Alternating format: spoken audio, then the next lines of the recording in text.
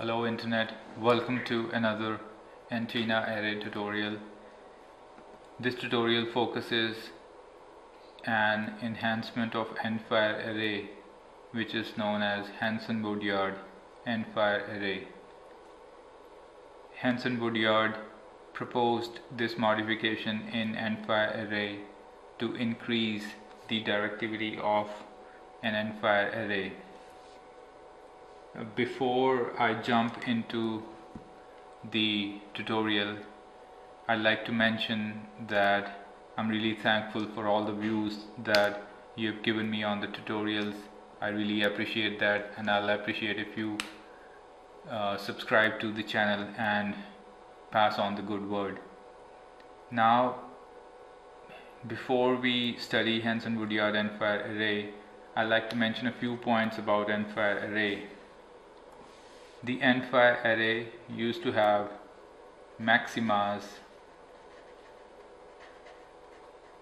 in the direction of 0 and 180 degrees. The maximas are not going to change in Hansen Woodyard also. Now if we considered a case of four point sources for an endfire array with a spacing of lambda by 4. The progressive phase shift between the elements going from 1 to 2 to 3 to 4 can be found out using uh, a simple technique or formula that says the progressive phase shift should be equivalent to minus beta d. And that should give us 2 pi by lambda into our distance is lambda by 4 so it gives me pi by 2 which is equivalent to 90 degrees phase shift between the progressive elements. So in other words going from 1 to 2 there is a phase shift of 90 degrees in the signal. From 2 to 3 there is going to be an additional phase shift of 90 degrees and so on. And similarly if we wanted to calculate for this case where we have 8 elements and they are separated by a distance of lambda by 2 and the progressive phase shift would come out to be equivalent to 180 degrees. Now this the number of increase in the elements results in increased directivity but it also increased the number of side lobes. For example, the radiation pattern for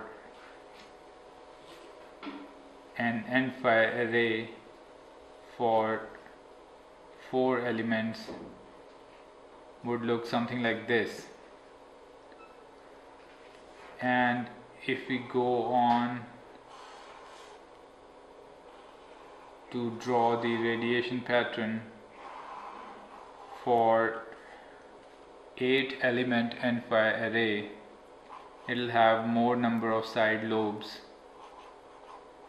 But the directivity will increase. You can see the major lobe is more wide as compared to the major lobe here. Now Hansen Woodyard proposed that this alpha it should be modified by a factor of pi by n. We should add that factor into alpha. So if we want to convert this arrangement of array into Hansen Woodyard, he suggested that alpha should be kept as minus beta d plus pi by n. So a small amount of phase shift is added at each step which is equivalent to in our case it should be equivalent to uh, we calculated beta d as 90 degrees plus an additional phase shift of 180 by 4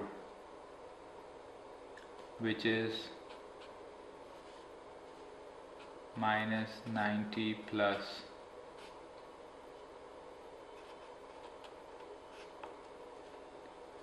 so Hansen Woodyard suggested that the progressive phase shift between the elements be increased by a factor of pi by n thereby making the array more directional and trimming off the side lobe.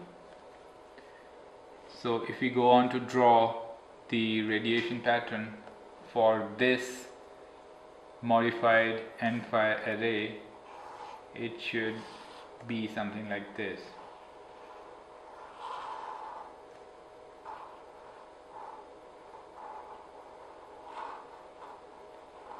Now it has resulted in two two major improvements.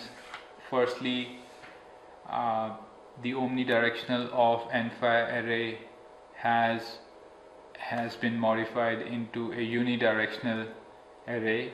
This this array is directing all its energy into east. And secondly the uh, the other major lobe is suppressed. So we are concentrating all our energies into one direction. So the back lobe has taken up this shape we have done away with this major lobe and even if the directivity of this array does not increase the power per unit area increases for sure. But Hansen Woodyard endfire array also promises an increased directivity. It could be as small as uh, a few radians to uh, many radians.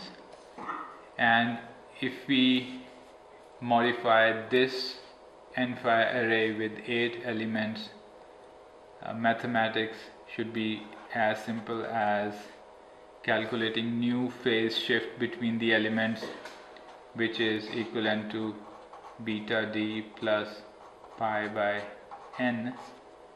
And our previous beta d was 180 degrees and pi by n results in 180 degrees upon number of elements is 8 so it gives me an angle of